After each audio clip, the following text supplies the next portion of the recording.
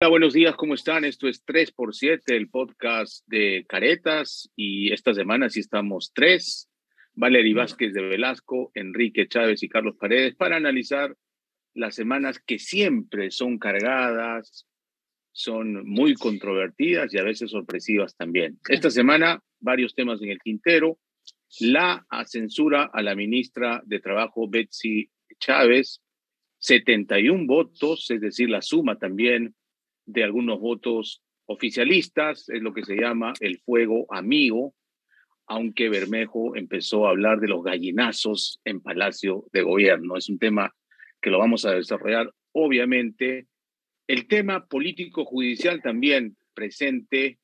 Hasta el cierre de esta edición se hablaba de que el fiscal Pablo Sánchez iba a iniciar una nueva investigación preliminar contra el presidente de la República, esta vez sería por lavado de activos, eh, acorde con el artículo 217, sería una interpretación distinta a su antecesora Zoraida Ábalos, así que eso también pone al presidente nuevamente en la picota.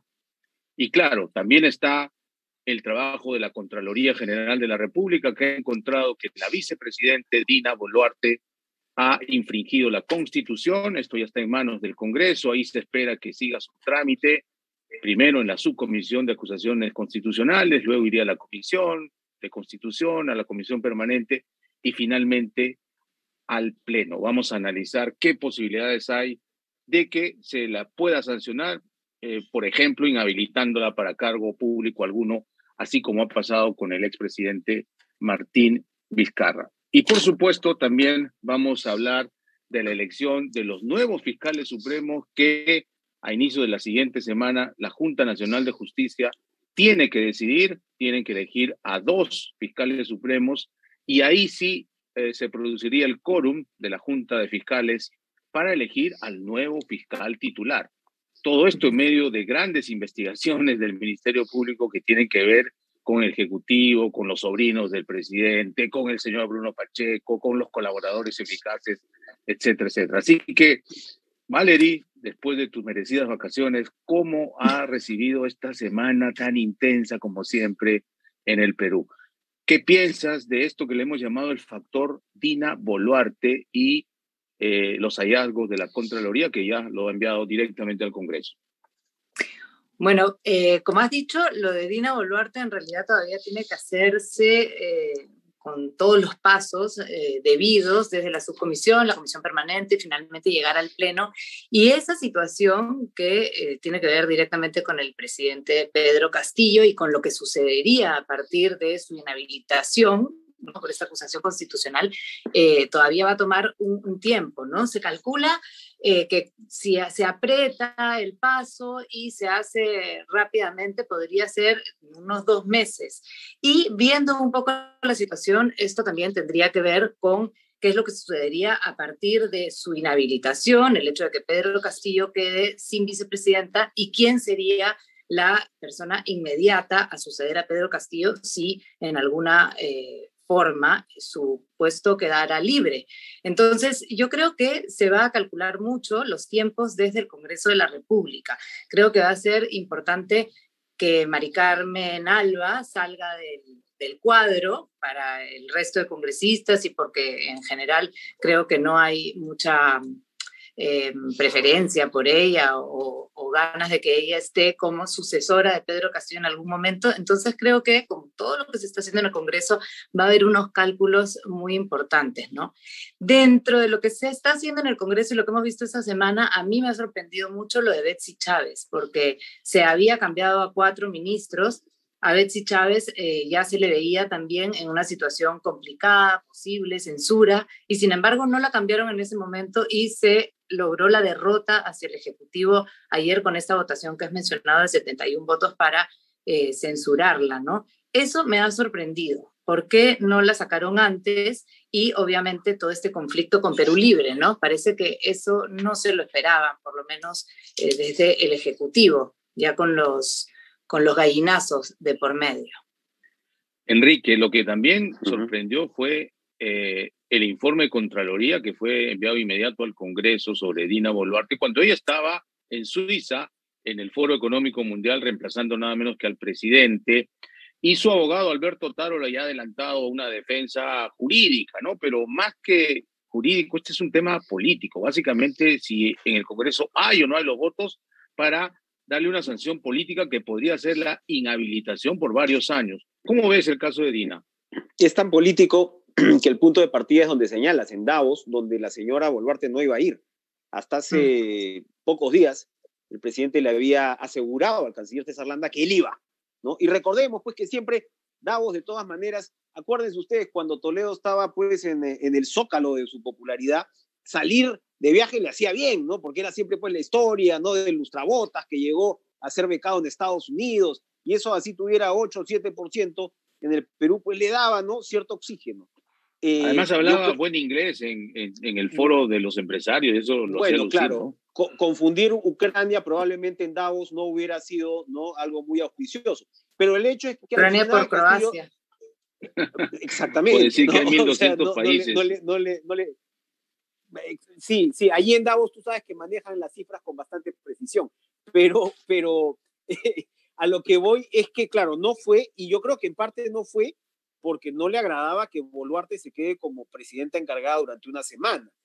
Y claro, esto, esto suelta, no, no, no hago ninguna vinculación, sino que sencillamente eh, al final la señora fue y le cae este informe que en realidad es un batacazo, porque más allá del contenido y como dice Vali, lo que va a tener que discutirse, porque la señora va a tener que hacer una, una defensa, el informe de frente recomienda, le dice a María del Carmen Alba, oiga, usted aplique, haga lo que tenga que hacer, sobre la violación del artículo 126, que es por lo que la semana pasada la señora María del Carmen Alba firmó la inhabilitación de Martín Vizcarra. ¿Por qué? Porque no renunció a su constructora cuando fue ministro de Vivienda. Ojo, a Boluarte no la cuestionan por eh, vicepresidencia. Cuando pasó lo de Muñoz, el Jurado Nacional de Elecciones dijo, un, un momentito, a la señora le prohibimos ser candidata al Congreso, efectivamente, porque no renunció. Pero para el caso de vicepresidente, ella tuviera que haber sido alta funcionaria, y como sabemos, era una jefa encargada de una oficina en Higuereta, no era exactamente una alta funcionaria, René. Entonces, eso no le impedía para, para, para ser vicepresidenta, pero de ahí asume el cargo de ministra, sin ser congresista. Y como ministra, no le cuenta eh, en la declaración jurada que eh, era pues presidenta del directorio del Club Apurímac. Ella de ahí dice que ha pedido licencia, para la Contraloría no es suficiente, parece que hay argumentos que ella ha firmado según la Contraloría de documentos después de ese supuesto pedido de licencia, y para la Contraloría está clarísimo, ¿no? Entonces habrá que ver ahora, me parece que, eh, para terminar ahí, políticamente se complica mucho, precisamente porque muchos amigos no tienen, ¿no? La, la señora Volarte ha pasado varios meses en una posición expectante, precisamente por las limitaciones de, de, Castillo, donde había una corriente de opinión que decía, a ver, esta señora qué piensa, cómo sería de presidenta, y ella por no querer ser Vizcarra, o sabe Dios qué cosa, no ha atendido prácticamente ningún puente en el Congreso.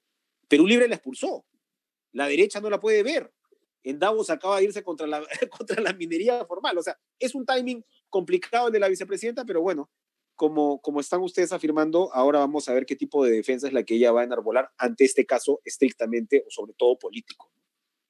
Fuentes de Torretagle me contaron que la diplomacia peruana profesional eh, se toma varios meses preparando oh, la intervención del presidente en un foro tan importante como el Davos en Suiza. Eh, y todo indica que la vicepresidenta pues ni siquiera se tomó el, el, trabajo de leer los papers que le habían preparado con información adecuada, con además un discurso, yo diría, para el auditorio que la está escuchando, ¿no? Que además en un país minero como el nuestro, no puede decir hablar muy mal de la minería formal y no decir un ápice de la minería informal o ilegal, que es peor, ¿no? Pero en fin, eh, vayamos al otro tema, querida Valerie Vamos, eh, ¿qué te parece esta, este recambio en el gabinete ministerial eh, en la noche del domingo para competir con los mm. programas estelares? El presidente eh, juramentó a cuatro ministros, todos los analistas han coincidido que dos tienen ciertas credenciales para asumir estas carteras, pero otros dos, especialmente el de el Ministerio de Agricultura y Riego, simplemente frente a esta emergencia y a lo que vaticinan los expertos de la escasez de alimentos, y la crisis alimentaria, ¿no? Sí, justamente, eh, bueno, lo de la crisis alimentaria, el problema de este nuevo cambio en el Ministerio de Agricultura, yo creo que claramente... ¿Cómo es este refresco claramente explica cómo es que están completamente perdidas las políticas públicas y el enfoque de este gobierno hacia lo que se debe hacer, ¿no? Se está hablando de hambre, se está hablando además de una cantidad de, dificultades para las personas que tienen que enfrentar los gastos de su casa y no hay ninguna medida que de alguna manera vaya a proteger a los peruanos eh, de, estos cambios que están ocurriendo ciertamente en el mundo, que no es una crisis económica eh, de, nuestro país, eh, sino de todos, pero es un asunto global. Pero yo creo que ese cambio, sobre todo el de agricultura, ya sabiendo que se viene esta crisis alimentaria y todo lo que se ha mostrado en el horizonte durante la semana pasada, demuestra eso claramente. Lo que se ha visto además con los otros cambios, sobre todo con Alessandra Herrera de Energía y Minas y con eh, el interior, las declaraciones de, de, este, de Bermejo y de Cerrón, es cómo es que se está armando esta bronca otra vez, ¿no? Frente a las fuerzas y a los poderes que están alrededor de Pedro Castillo, ¿no? El hecho de que él haya podido influir un poco con esta persona que estuvo en el gabinete Valer, que justamente es la ministra de Energía y Minas, eh, hace que de nuevo salten todas estas chispas, luego entra Cerrón, luego los gallinazos, el, el tira y afloje que hay dentro del Ejecutivo yo creo que es escandaloso, escandaloso y volvemos al primer punto, ¿no? Pierde completamente de vista el enfoque central que es qué se va a hacer frente a las necesidades, a las urgencias y a las decisiones, a las políticas públicas que se tienen que tomar en el Perú, ¿no? Ahí, ahí, es, ahí, es, ahí es parche sobre parche, pero es, es un crimen, ¿no? Que, que, que, un país que se supone depende tanto de su agricultura, de sus agricultores, ¿no? Eh, donde, donde la agricultura te da más mano de obra que ninguna otra, eh, eh, ningún otro rubro y que además tienes el tema, por supuesto, de la seguridad alimentaria, hayas comenzado con Víctor Maita, que era, era, era de Nuevo Perú, pues, por eso, por eso lo sacaron y se olvidaron de la segunda reforma agraria, porque no era tema ¿no? De, de, de, Perú Libre en ninguna de sus vertientes, como lo ha reconocido el propio Guido Bellido. Ponen a SEA, ¿no? Con dos eh, casos de homicidio, y ahora ponen este señor que no lo conoce nadie, ¿no? Entonces nos hablaba Fernando Eguren de CEPES y decía que en los últimos tres meses el Ministerio de Agricultura sencillamente se ha desmontado. Entonces, esta mm. crisis nos agarra además ¿no? Democracia, tus ciertos círculos profesionales, chao, hasta luego. Y mm. nada, añadir que este cambio, lo que sí viene, ¿no? En medio de estas peleas y todo, es, o sea, el, el, el, audio, el audio de, de Pacheco eh, y, de, y de, ¿cómo se llama? Villaverde. También Villaverde. Demoledor, demoledor. O sea, eh, en realidad lo que hace eso es darte así tipo serial de la Guerra de las Galaxias, el episodio 1. Nosotros estamos por el episodio 5 y 6 viendo cómo era el Club de la Construcción Chino, los chicos Quispe Aguilar, cómo se movían todas estas jugadas, todos los casos de corrupción eh, en el Ministerio de Transportes y Comunicaciones, denuncia tras denuncia, y acá lo que ves es ese primer momento en el cual Villaverde le dice a Pacheco, oye, yo más allá del tono repugnante del video, dice, transporte es esa, yo tengo que entrar ahí. Y efectivamente después entró, porque todos los testimonios dan cuenta de que quien le presenta eh, ¿no? Eh, a Villaverde en el ministerio es el propio Silva, y Villaverde le lleva a los, a los presuntamente a los empresarios, a los sobrinos. Así que esa historia va quedando cada vez más redondita, ¿ah? por más que Villaverde haya querido llevarla por el lado del fraude, allí la cosa está muy, muy complicada para el presidente de la República. Sí, tan complicada que ya se ha confirmado en medios del Ministerio Público que el fiscal Pablo Sánchez habría decidido abrir precisamente una investigación preliminar contra el presidente, porque la tesis de los fiscales provinciales, ya sea Cesenarro como Luz Taquire, es que acá se trataba de una organización criminal que hizo actos preparatorios para tomar por asalto el Estado y estos audios premonitorios se han cumplido, desafortunadamente. Eso es lo que ha venido pasando y claro, si están con orden de detención preventiva los subalternos de la cabeza de esta supuesta organización, ¿cómo es que al cabecilla lo vas a dejar que siga gobernando hasta el 2026. Esta interpretación, que es jurídica, eh, aparentemente ya se decidió Y es clave también el lunes y martes de la siguiente semana porque la Junta Nacional de Justicia va a elegir entre los cinco fiscales que han quedado finalistas a dos. La prensa especializada dice que hay eh, dos favoritas, la fiscal Delia Espinosa Valenzuela y la fiscal Liz Benavides Vargas, que es la que ha quedado en primer lugar en el orden de méritos. Pero claro, también tiene su componente político. En el Ministerio Público dicen que Zoraida Ábalos está jugando todas sus fichas porque quiere reelegirse como fiscal de la nación y para eso le urge que una de las elegidas sea Delia Espinosa. Hay algunos medios que han sacado información sobre la hermana de Liz Benavides, que es una jueza que supuestamente estuvo comprometida en eh, algún acto doloso y está procesada y también de Delia Espinosa Valenzuela, ¿no? Porque la relacionan con el famoso caso Orellana. En fin, eh, temas que obviamente van a tener que analizarse en la Junta Nacional de Justicia y esperemos que esté a la altura, ¿no? Que sea un proceso transparente, meritocrático, que se elija a la mejor o al mejor o a los mejores, porque de esos dos fiscales supremos que elijan va a depender quién va a ser el nuevo fiscal o la fiscal de la nación para los próximos tres años en medio de esta trama político-judicial donde el Ministerio Público tiene muchísimo que hacer. Y además recordemos que solamente han quedado dos fiscales supremos justamente por actos de corrupción, ¿no? Por todo lo de la Bajuez y por toda la caída de los CNM audios. Entonces, lo importante ahí es justamente comenzar a buscar cuadros limpios, ¿no? A ver si comenzamos a limpiar un poco las instituciones. Esa situación va a ser bien importante y también lo que decías de la acusación o la investigación que se va a comenzar aparentemente, ¿no? En cualquier momento podrían comenzar o abrir esta investigación contra el presidente Pedro Castillo y cómo queda el presidente con una investigación de ese tipo, cuando Zoraida Ábalos había dicho que debía comenzarse en el 2026. Sí, eh, la información que yo manejo es que definitivamente este señor Samir Villaverde, que al parecer grababa todo, absolutamente todo, incluso eh, con audios previos diciendo casa del ministro, hora tal, día tal, ¿no? Este, ha, ha coleccionado horas de grabación. Entiendo que está desesperado y le está pidiendo a la fiscal Cesenarro. Este señor sabe que es la prisión, sabe que es una cárcel porque ha estado dos veces en ella. Así que está entregando todo lo que, lo que conoce, pero más allá del fraude, eh, que lo ha dicho pomposamente, creo que sí puede aportar evidencia concreta sobre la trama de corrupción que se planeó y se ejecutó en el Ministerio de Transportes y Comunicaciones.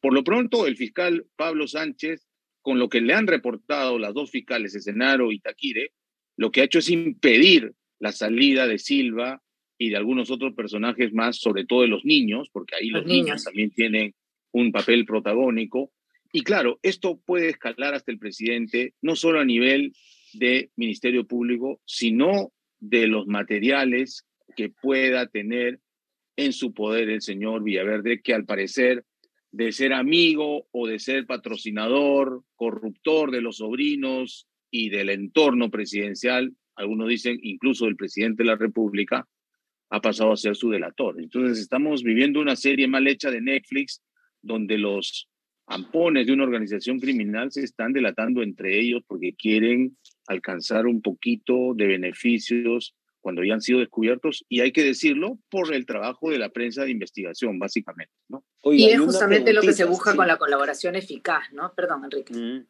Sí, sí, no, una preguntita para terminar, porque se nos acaba el tiempo. ¿Dónde está Pacheco? ¿Dónde está Pacheco? ¿Qué pasa? La pregunta del millón. La policía cuando quiere efectivamente hacer su chamba, al toque. Pacheco vive en el RIMAC, toda su familia vive en el RIMAC. Han buscado bien en el RIMAC. Es evidente acá que eh, el círculo tiene que cerrarse. Es como dice, el, el, caso de corrupción está absolutamente evidente. Ya querían audios, bueno, ahí están los audios de los dos zampones hablando como hablan, oigan, vinieron a asaltar el Estado, al menos no puedo hablar más allá de ellos dos, pero estos dos lo que hacían era de frente y con tanta, digamos, precisión que decían, oye, pero a los ministerios les van a sacar la M, ¿no? Pero en tres meses la haces, decía Villaverde. O sea, tenían claro cuál era el plan. Y ojo, cuál era el segundo eh, botín que pasa piola nomás entre todas estas cosas. Vivienda. No sabemos nada. Y, son y es el único ministro, uno de los pocos que queda desde el 28 de julio. Así es, así es, un ministro muy estable, así que mucho ojo a todos esos sectores. Hay que sugerirle a la policía que en vez de buscar en el RIMA, busquen la planicie, ¿no? Le pregunte a Silvia Barreda. Y también una pregunta que nos hacemos es, ¿por qué sacaron sorpresivamente al comandante general de la policía, Vicente Tiburcio, un hombre de carrera, GI, con una ejecutoria bastante limpia en la policía? Preguntas que obviamente las iremos respondiendo en los próximos días. Hasta aquí el podcast de esta semana. Los esperamos, como siempre, siempre 3 por 7, 21 minutos el próximo sábado. Buen fin de semana. Chao, buena semana. Chao.